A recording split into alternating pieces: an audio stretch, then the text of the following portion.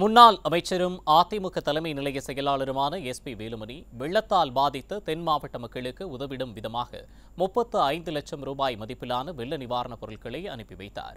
கூடுதல் விவரங்களை செய்தியாளர் சசிகுமாரிடம் கேட்கலாம். வணக்கம் சசிகுமார். இது குறித்த கூடுதல் தகவல்களை நீங்க பதிவு செய்யலாம். வணக்கம் முன்னாள் அமைச்சரும் அதிமுக தலைமை நிலைய செயலாளருமான எஸ் பி வேலுமணி தலைமையில் கோவையிலிருந்து தென் மாவட்டங்களுக்கு தினந்தோறும் நிவாரணப் பொருட்களை அனுப்பி வந்து கொண்டிருக்கின்றார். நேற்று முப்பது லட்சம் மதிப்பிலான நிவாரணப் பொருட்களை வெள்ளத்தால் பாதிக்கப்பட்ட தென் மாவட்ட மக்களின் பயன்பாட்டிற்காக வாகனங்களை அனுப்பி வைத்து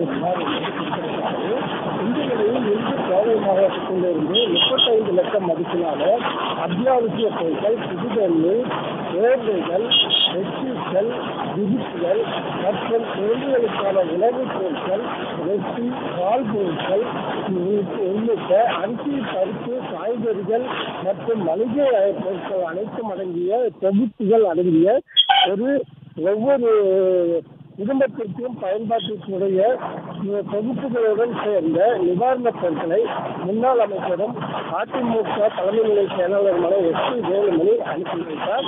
இந்த நிகழ்ச்சியில் மேற்குக்கடவை சட்டமன்ற உறுப்பினர் கே தாமோதரன் முன்னாள் சட்டமன்ற உறுப்பினர் எட்டுமலை சண்முகராஜ் அஹ், எட்டுமலை சண்முகம் மற்றும் மதுக்கரை நகர கழக செயலாளர் சண்முகராஜா உட்பட கழகத்தின் முக்கிய நிர்வாகிகள் மற்றும் தொண்டர்கள் கலந்து கொண்டார்கள். என்று கூடுதல் தகவல்களுக்கு நன்றி சசிகுமார்.